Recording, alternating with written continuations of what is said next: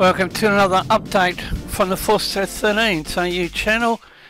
This is the life of Tropical Cyclone Keni, which is now a Category 2 system. Joint Typhoon Warning Centre has it located around 248 nautical miles east of Port Vila, tracking east-southeast 13 knots over the last six hours.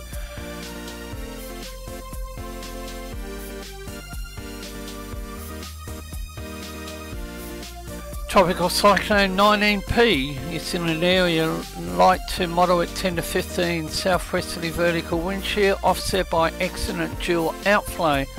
A long track sea surface temperature at 30 Celsius also conducive.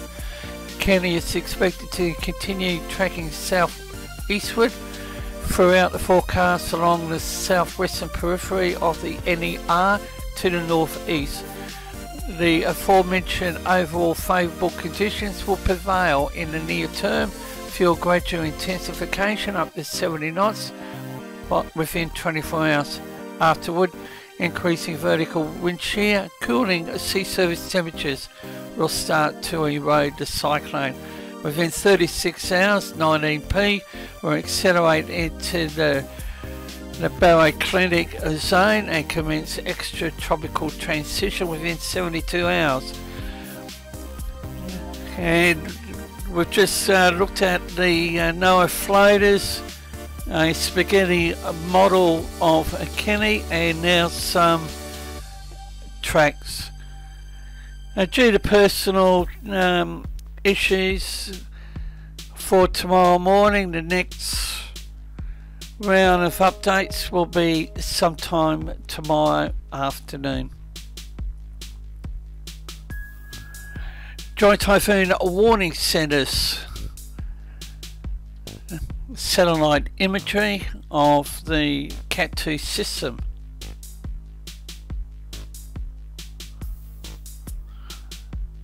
And in our next uh, round of updates, we'll bring you the latest re ex-tropical cyclone Iris Joint Typhoon Warning Centre's current track and various warnings are now in place across Fiji. Now look at the uh, tropical cyclone formation probability guide. The picture is actually changing. Uh, you can note the the purple ex-tropical cyclone Iris. And as mentioned in our previous update, the uh, Bureau rates the percentages of moderate for the system.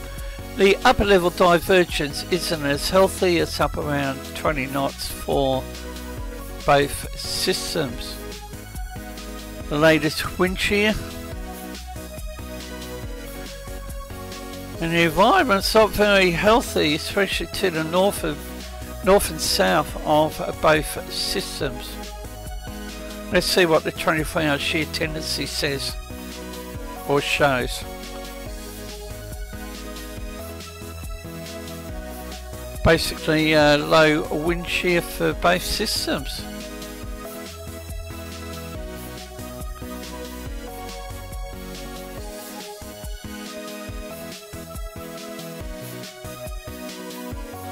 The 850 millibar vorticity.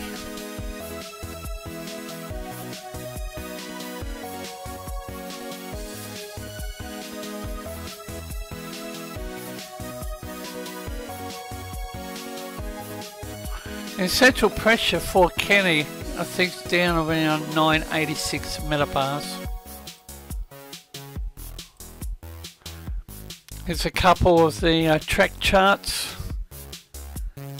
One's the track chart, the other one's the fret chart from the Fiji Met. So, Cat 2 system.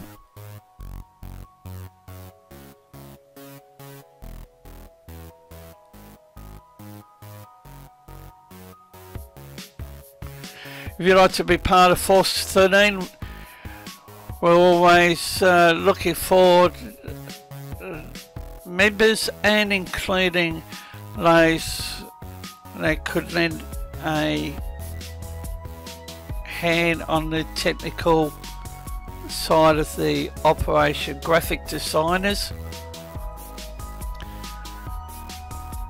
And finally as I've just mentioned uh, we will continue to cover both systems from my own personal position I think the threat is also going to come from ex-tropical cyclone Iris. And here's Nathan with uh, the contact you can details. Force 13's outlets, the website force13.com, which has had a revamp and is still under reconstruction, but take a look. Also, YouTube, of course, if you haven't subscribed, that might be a good idea. Visit Force 13. We're also on Facebook under the same name, of course, and you can like us on there, and you can also follow us on Twitter. Search Force 13, all in text for those. You can also add Force 13 on Skype or my personal account on Discord, Fool13, at extension 9094.